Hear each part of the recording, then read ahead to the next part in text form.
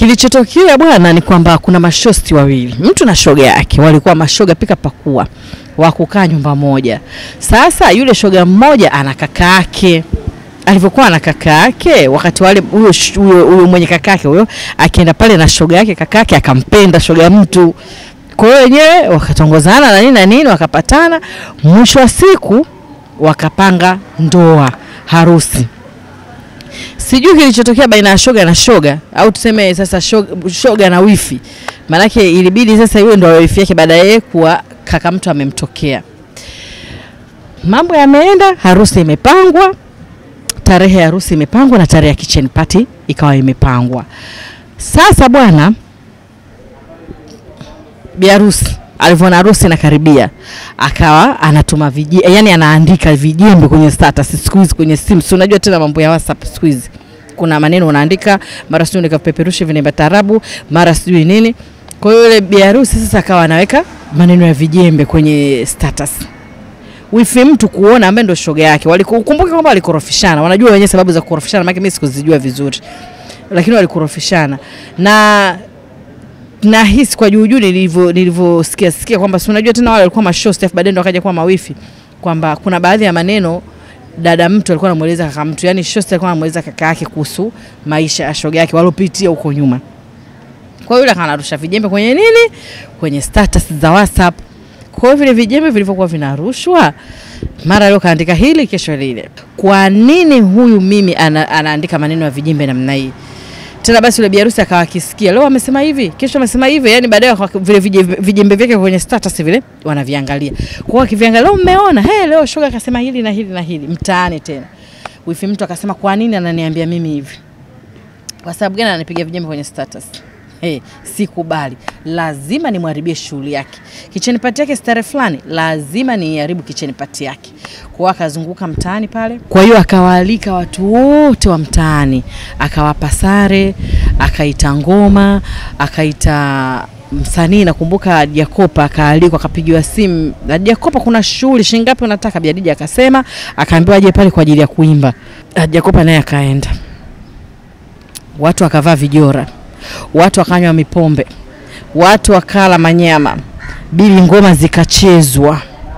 Kuvuruga shughuli ya nani ya wifi. Kwa hiyo asilimia kubwa yote ambao walikuwa wamealikwa waende kwenye kitchen kule ya wifi hawakwenda, wakaja huku kwa huyu wifi dada wa mume ambako yeye ndo alikuwa amefanya sherehe hiyo ya nini ya ngoma ya kuvuruga kitchen party ya wifi yake, usiku wa vyombo wifi yake.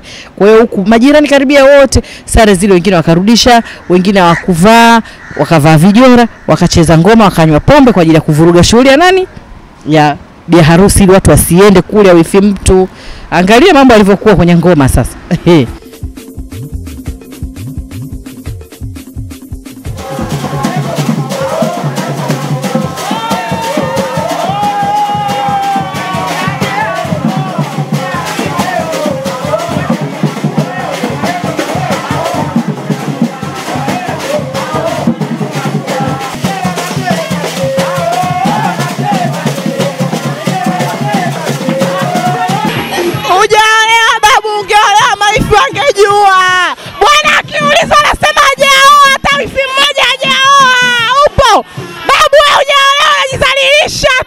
mbwa.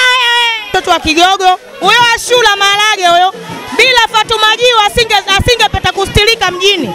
Kastilika akapata mume anamzalau Fatuma Jiwa. Bila Fatuma Jiwa angempata mume mjini.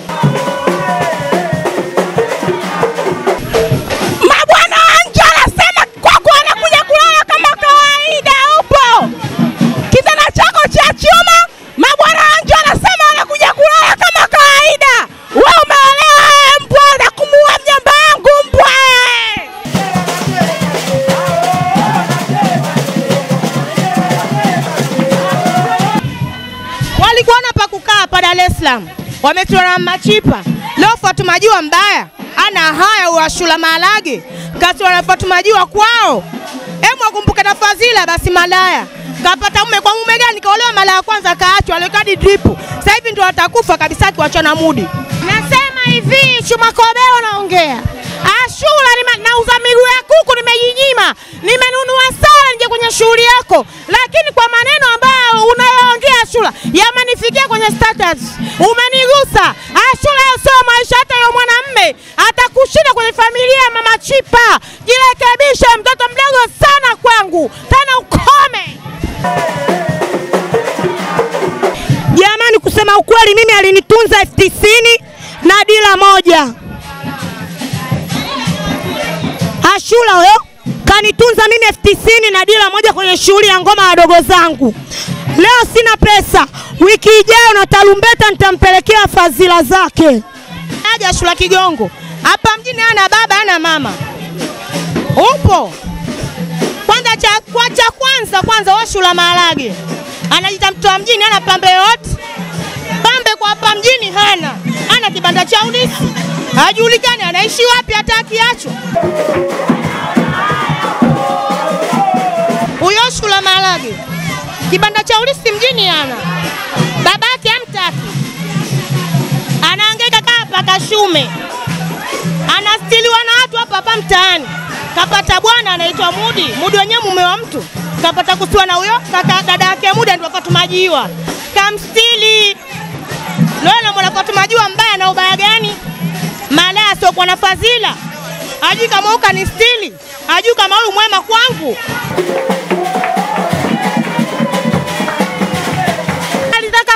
Kwenye shughuli ya Ashura. Zubeda Pius atakwenda kwenye shughuli ya Ashura.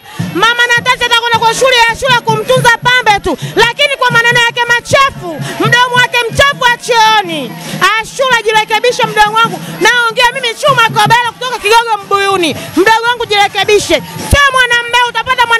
mwingine. Jirekebishe shule, mdogo wangu. Watu, watu wazima wametoka Kariakoo, wametoka Ilala, wametoka siwapi kukufuata, lakini leo wamekuja hapa Mbuni Paki kuja kukuona kama ni mpumbavu, kuja kujumuika na sisi. Uoni haya mdogo wangu, hebu jirekebishe. Alafu yani, si tukwambiaje, yani hapa mbuni leo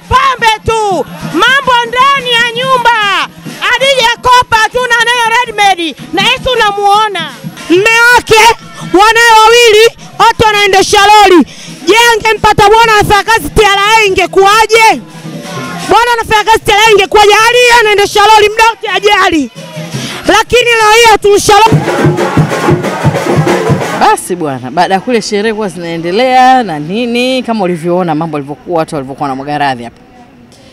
Ukumbuke kwamba ndio ilikuwa siku hiyo hiyo, ni siku ya kitchen party. wenye chuki, wenye husda, wakina nani waliokaa kibarazani, kazi kusema ya wenzao. na hizo ndo raha mwenzangu, mambo yetu Swahilini hatuna neno, na mambo yakawa kama hivyo, shughuli kwa inaendelea. Na uzuri ni kwamba kwenye shughuli kule na kwenyewe kulikuwa kuna watu viumbe walikuwepo. Nakumbuka alikuwepo nyota waziri, walikuwepo baadhi ya wasanii wa Kaole wale wa zamani walikuwepo, na ndugu zake mwenyewe biharusi na kampani ya biharusi pia, watu wengine wa pale pale mtaani, lakini wengine pia walikuwepo ukumbini, wale watu ambao hawataki ubaya, wale mimi sitaki muhari, tunajua wale, na wenyewe walikuwepo, wakawa wameenda.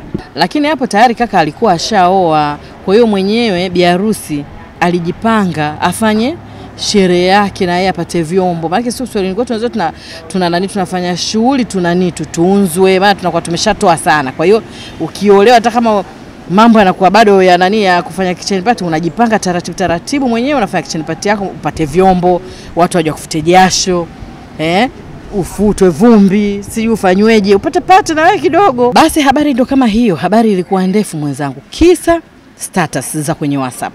Kwa hiyo jamani, wakati mwingine tuache kujihisi. Unawezekana saa nyingine mtu anaweka tu maneno yake anayoyajua yeye mwenyewe, pengine ana sababu zake.